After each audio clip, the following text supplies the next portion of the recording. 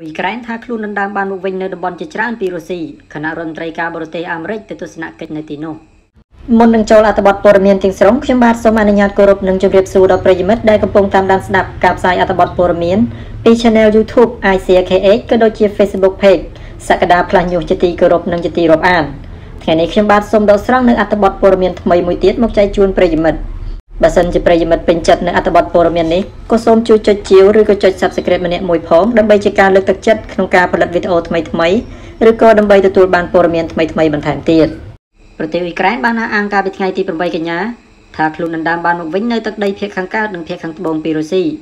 គណៈរដ្ឋមន្ត្រីការបរទេសសហរដ្ឋអាមេរិកលោក Anthony Blinken បានទៅទស្សនកិច្ចនៅប្រទេសនេះដោយសន្យាផ្ដល់កញ្ចប់ជំនួយបន្ថែម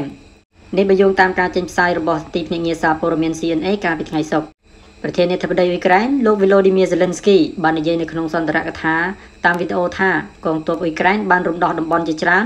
និងបានដណ្ដើមយកមកវិញនៅទឹកដីចំនួន1000គីឡូម៉ែត្រការ៉េនៅភាគខាងកើតនិងភាគខាងត្បូងចាប់តាំងពីថ្ងៃទី1ខែកញ្ញាមកលោក Zelensky ក៏បានបង្ហោះវីដេអូដែលទាហានអ៊ុយក្រែនអះអាងថាបានដណ្ដើមយកមកវិញនៅភាគខាងកើតទីក្រុង Palagay ក្បែរទីក្រុង Kharkiv ដែលជាទីក្រុងធំទី2ក្នុងប្រទេសអ៊ុយក្រែន លោកឧត្តមសេនីយ៍តូ Alexei Gromov មន្ត្រីយោធាអ៊ុយក្រែនបាននិយាយថាកងទ័ពអ៊ុយក្រែនបានរុលទៅមុខរហូតដល់50គីឡូម៉ែត្រនិងដណ្ដើមយកមកវិញនៅភូមិជាង20នៅក្នុងតំបន់ខាគៀវលោក Anthony Blinken បានប្រាប់អ្នករាយការណ៍ព័ត៌មានមុនចាក់ចេញពីទីក្រុងខាគៀវថា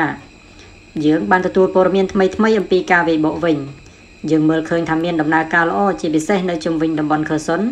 ប៉ុន្តែក៏មានការវិវត្តគួរឲ្យចាប់អារម្មណ៍មួយចំនួននៅក្នុងតំបន់ដុនបាស ភាគខាងកើតផងដែរលោក Anthony Blinken បានប្រកាសផ្ដល់ជំនួយយោធាចំនួន2.2លានដុល្លារដល់អ៊ុយក្រែននិងប្រទេសចំនួន18ផ្សេងទៀត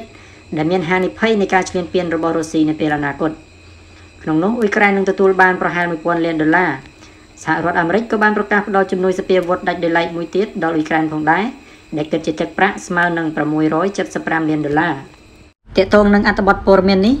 សូមបងប្អូនប្រិយមិត្តជួយបញ្ចេញមតិយោបល់ម្នាក់មួយផងខ្ញុំបាទសូមអភ័យទោសចំពោះកំហុសឆ្គងដោយប្រការណាមួយសូមអរគុណសូមជម្រាបលា